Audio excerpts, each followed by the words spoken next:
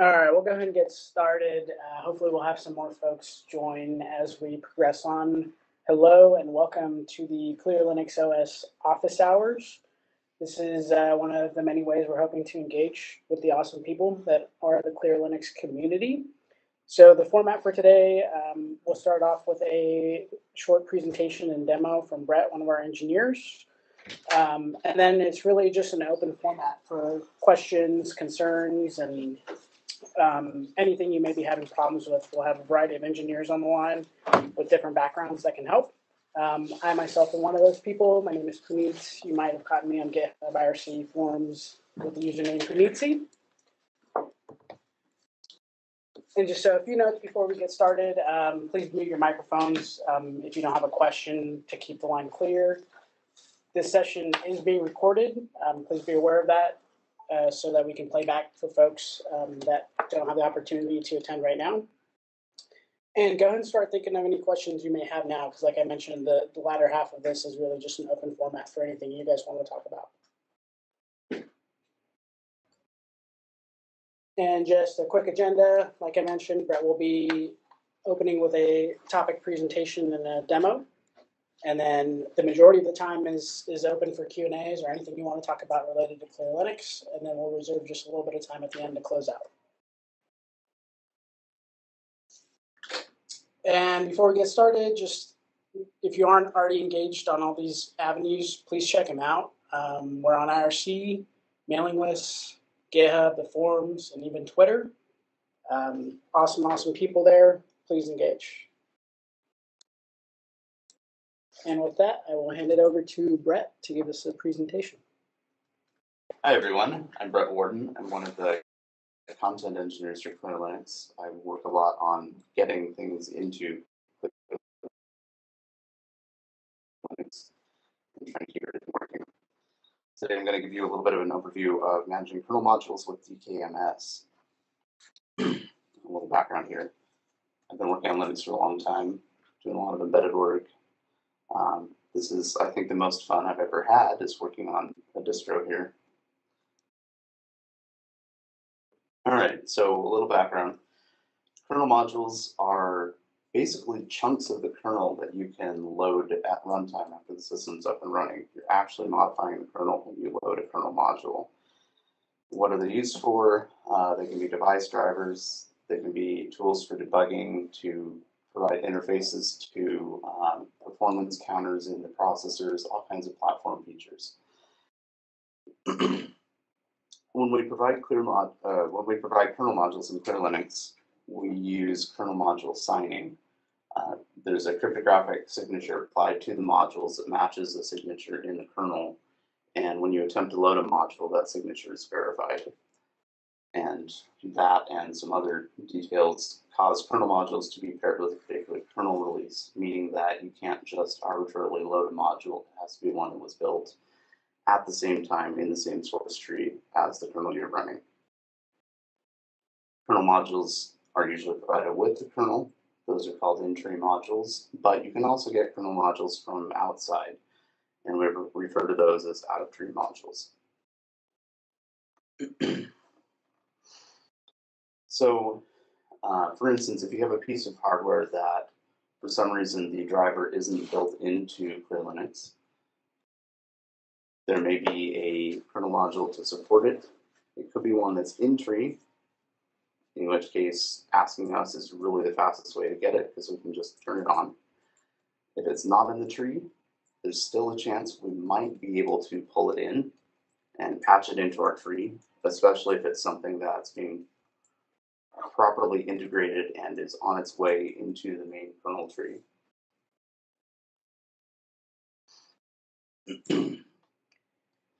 Sometimes you might be developing your own kernel module, or you're just testing something out. You can build your kernel modules manually.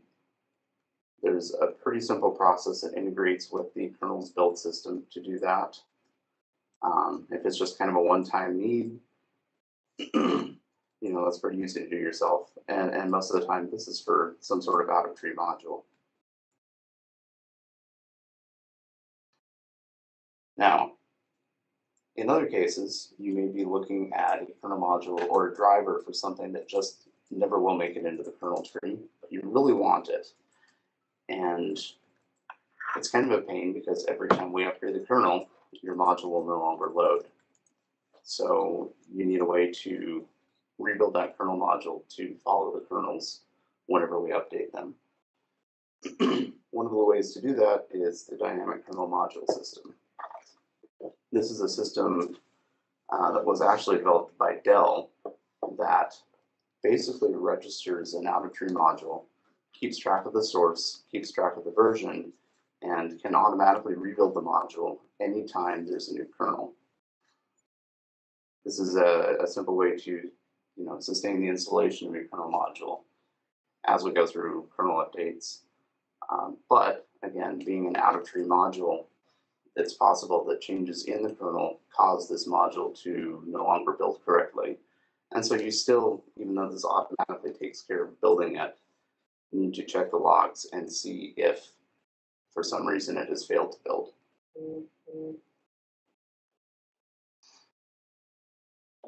Here's a little bit of documentation. Uh, Puneet has put together some pretty nice guides for how to build kernel modules themselves and also how to use DKMS to manage those kernel modules. Uh, with that, though, we'll go into a quick little demo of showing you how DKMS works.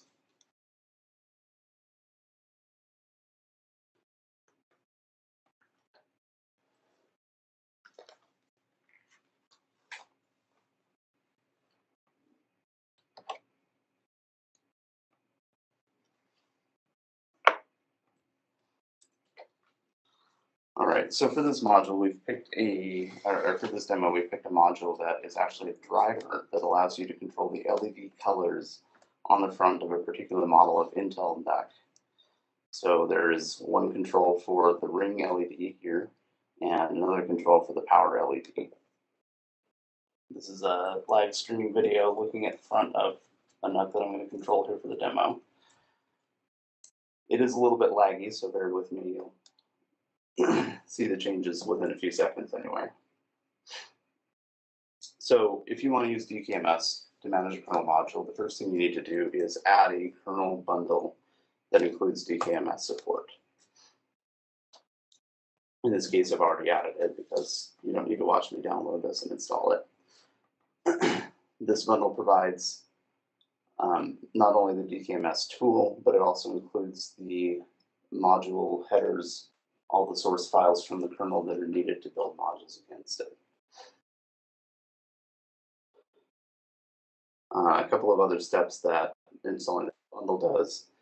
Number one, it provides an addition to the kernel command line. I mentioned earlier that we sign kernel modules cryptographically. so one of the things you have to do is disable enforcement of the cryptographic signature because the key for signing those modules is no longer available once the kernel is built, so your out of tree modules will not be signed. we added this feature to unenforced signature uh, verification. This will get added to your command line automatically when you install this bundle, but you will have to reboot for it to take effect. And you can see when we change the command line, it gets appended here. Another thing we do, because this is kind of a security feature, we add to the message of the day this little warning message.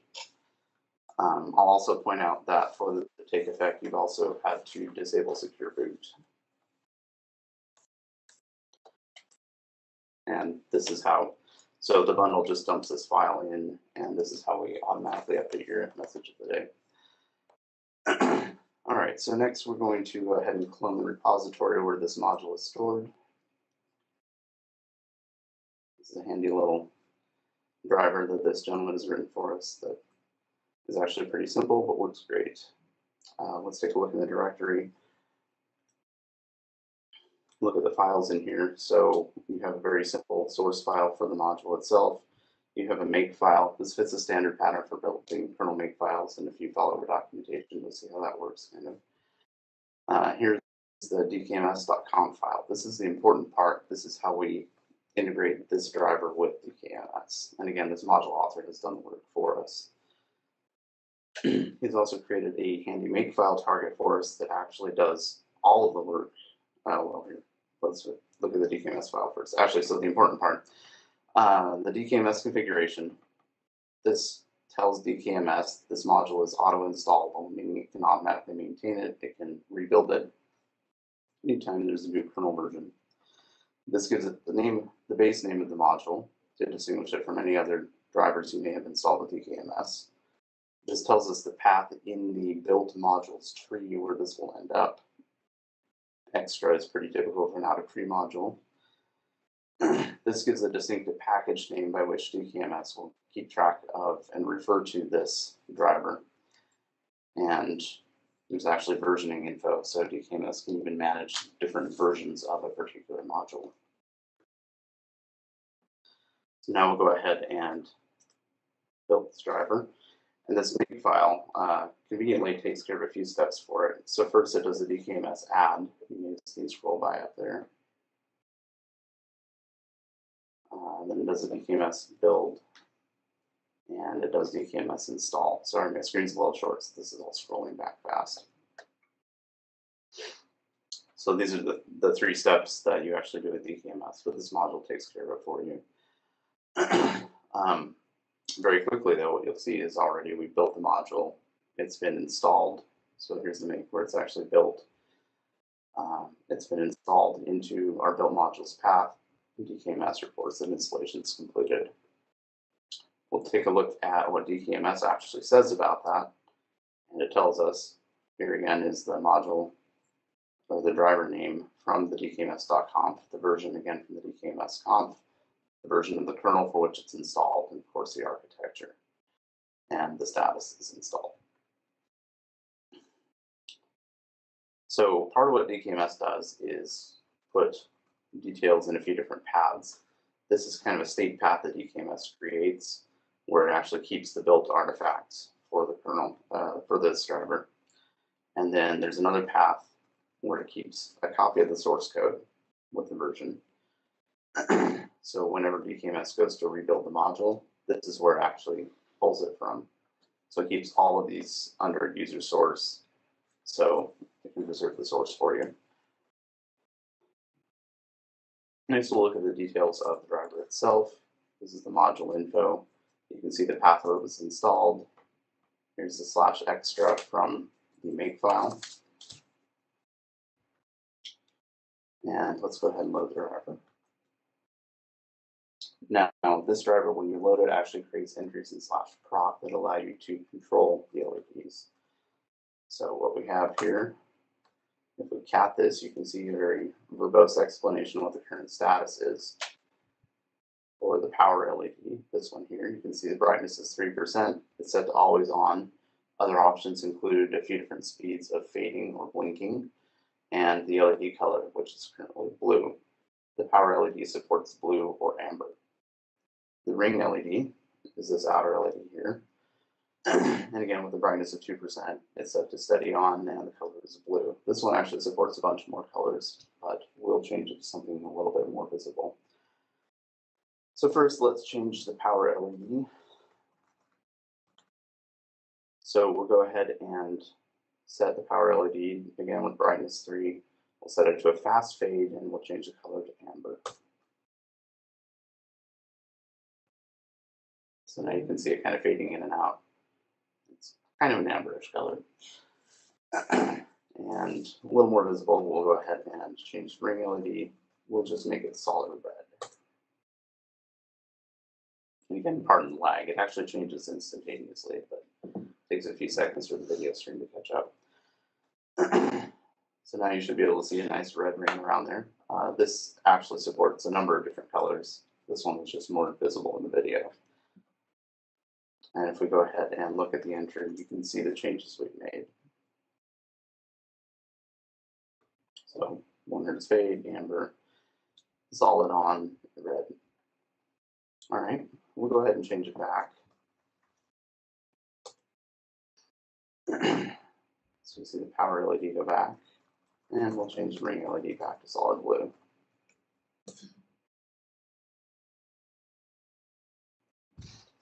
Now, a couple other things that are added by the bundle, the DKMS bundles. Um, we provide some systemd services to help maintain and integrate with our update process. So first of all, there's a new kernel service. This new kernel service is tied to the update triggers target, which means that anytime that Selecti updates your software, this gets run. And what this does is run a short little script that attempts to identify if there's a new kernel, and if so, reinstall all of your modules, all of your DKMS managed modules for that. We'll take a quick look at that script. It's really very short. It looks for your new default kernel image, gets the details out of that version number. If it doesn't match what your current kernel is, then it says, well, next time you boot, you're gonna be booting a new kernel, therefore I should install all of your auto installable modules for that particular kernel version.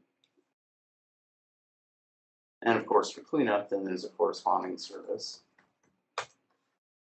Again, triggered by updates and also targeted to run only after we run the previous script that will attempt to clean up any old built modules.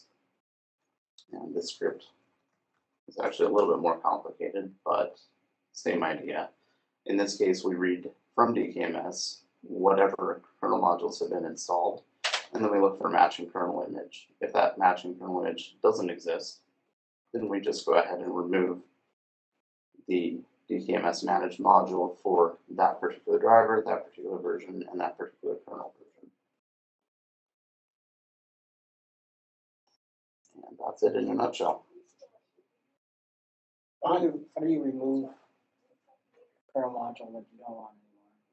So that would be this DKMS remove action. Oh, okay, okay, so you list whatever, you can see a list of all the modules you have and then you can say remove some. Okay, if you have more than one, So DKMS status will show you yeah. what you have installed, and it'll show multiples. It'll show different kernel versions and all that. Um, DKMS remove. Maybe Intel NUC LED, for example. And let's see. I think I have to specify the version number on here too. So the, the module version specifically from the DKMS.conf. I do that. Boom. Fun. Makes me want to get a cluster of NUCs and have a little disco party. Does uh, anyone have any questions for Brett or kernel modules DKMS?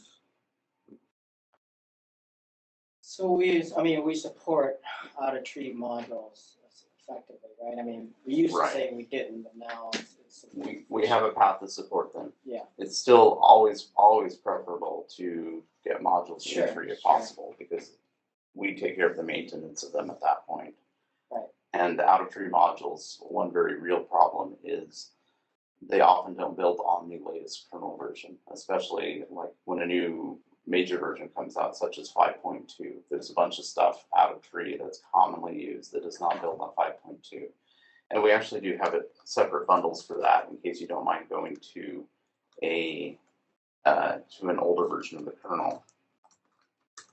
We have, let's see, you could add the kernel LTS DKMS bundle that will pull in the LTS kernel, the LTS, uh, the latest LTS, which it's a version 4.19, I think. And, and DKMS support for that, and a lot more of out of tree modules will build against that successfully. Is, is there a reason not to uh, put DKMS as part of a standard bundle on all our images? I mean, because it is, I mean, how much space does it take up? DKMS itself is pretty small. It's mostly a script. It's a large script, but still overall very small. Um, the biggest issue with that is that we have to disable module signature verification for it to be Mm, yeah. usable at all. Sure. So- Right, right, right. It's less about, you know, the impact of having DKMS installed versus the impact of making it useful by having to disable Disable security it, yeah. features. Gotcha. Yeah, It also includes the headers in C basic, right? Which That's true. a lot of people might not want on the regular system. Right, that's, you know, around hundred fifty megabytes per kernel. Per installed kernel version. specifically.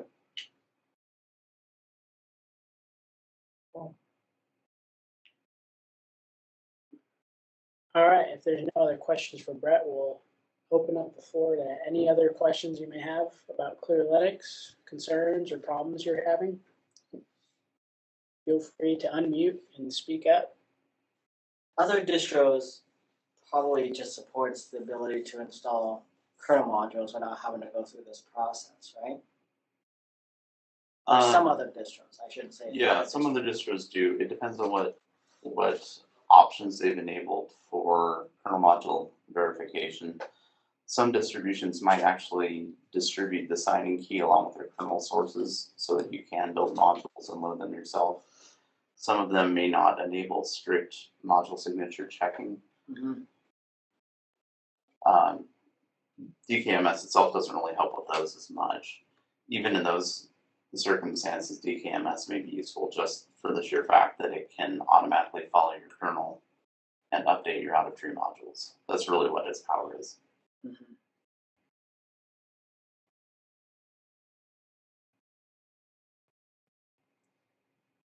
Other kernel, or I'm sorry, other Linux distributions may also distribute certain kernel modules built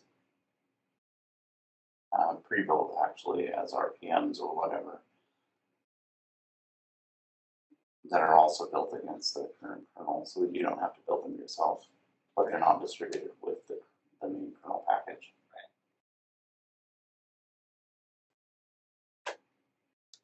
Are there, have there been a lot of people asking for different modules to be turned on in tree over the time that you've been in this project? We've had a number of requests. Uh, probably the busiest area is Wi-Fi modules. Okay, The simple fact is there are you know thousands and thousands of drivers in the kernel, and we've tried to enable the ones that make sense, Mhm. but there are probably still thousands more that we haven't enabled that somebody might have use for. Right. And again, if it's in tree, we're almost always happy to just enable it because it's there and it will be available.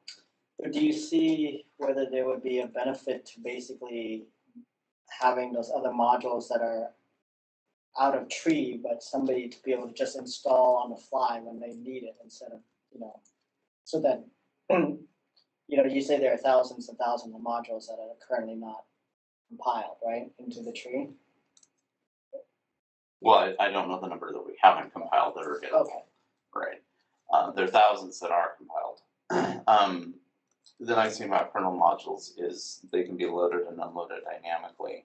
Right. And when a driver is built as a module, it doesn't even have to be loaded unless you actually have the, the hardware that it supports. okay, So it'll be present on your file system, but if nothing ever Okay. demands it, it'll There are cases of out of tree modules that we have actually patched into our tree. hmm Those include the WireGuard VPN implementation and in the LTS kernel, the Oracle VirtualBox guest additions support drivers. Some famous uh, cases of drivers who remain out of tree for various reasons, whether it's licensing or incompatibility with kernel development processes or whatever, include things like the NVIDIA graphics drivers, probably our biggest request, and the ZFS file system drivers. Do you have, or do you know a good resource um, for figuring out why a module that's out of tree was never accepted in tree? Um, sometimes I'll be trying to figure out, you know, wh- why wasn't this built in? And sometimes I can find a thread that will say, oh, you know, there's quality concerns or licensing concerns. Is there a single place that you know of where you can determine that? Most authoritative source is going to be the, the mail threads on LKML, unfortunately. Okay, that's what I figured. All right, folks, if there's no other questions, we'll go ahead and, and close out early. Um, thank you joining.